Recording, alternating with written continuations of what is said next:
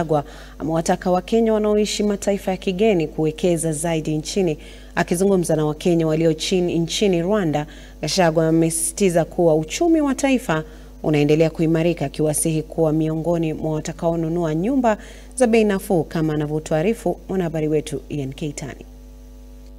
We have entered a phase of economic transformation where opportunities abound in every sector and we encourage you to seize your chance and reap a rich yield. We do have political stability and uh, everybody now is busy. Politics are down. There is no maandamano.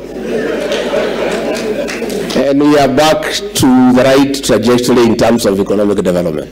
In this regard, I call on you to join us in focusing on key sectors that are integral to our nation's development, as well as, as offer promising opportunities for investment, mainly in the better priority areas of agricultural transformation, micro, small, medium enterprises, housing and settlement, the healthcare program, digital superhighway and the creative economy.